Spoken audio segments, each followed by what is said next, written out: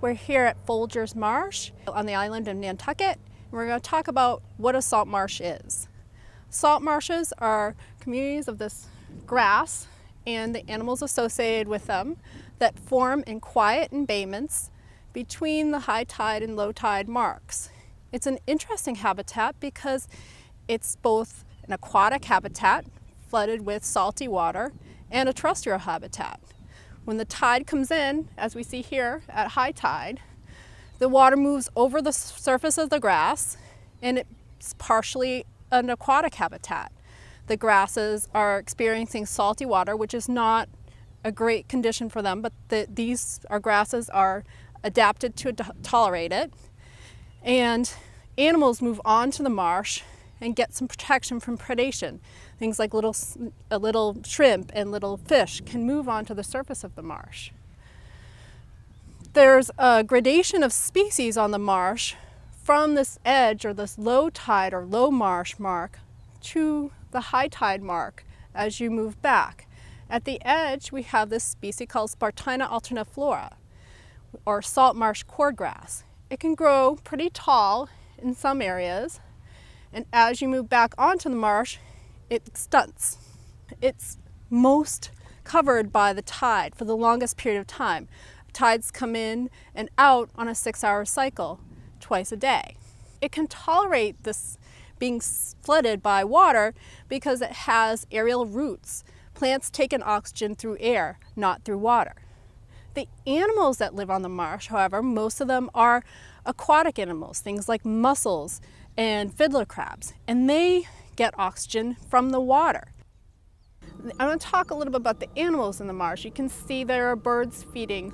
This is important habitat for feeding things like egrets and herons and osprey. The water that comes in through the marsh channels and flows throughout the marsh is important habitat for crabs and smaller juvenile fish of some commercially important species such as flounder and bluefish. We also have smaller species that are salt marsh creek inhabitants that provide food for the crabs and the other larger fish. At the edge of the marsh, there's a mussel that's attached to the substrate and to the um, roots of the Spartina alterniflora. This mussel, called the rib mussel, Geukensia demissa, has a mutualistic association with the grass. It provides nitrogen and stabilizes the roots, while the plant provides a place for it to, to attach to and a little bit of protection from predators.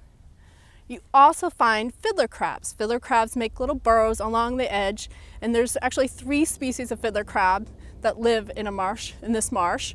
Some live in this more sandy habitat, Another species lives in more muddy habitat. And as you go back through the marsh towards the road, there's actually a source of fresh water, and you get a third species that lives in that more brackish water or less salty water. Fiddler crabs make burrows, and this burrow helps aerate the substrate.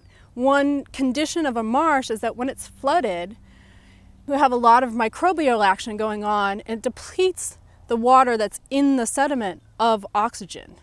And so as you move back, if you were to dig a hole and let it fill with water, that water would be very smelly because of the microbial actions of sulfur. It also would have very little oxygen in it, if any oxygen at all. And this is also a physiological stress for plants and animals. So you can see as a, a salt marsh is a very unique community of plants and animals that lives in this area of the coast. It's an important habitat. It's a habitat that provides a lot of primary production, which means the grasses take in carbon dioxide and turn that into organic carbon. Um, it also is an important habitat for the coastline behind it. It provides protection from storm damage in a buffer zone between the sea and the land.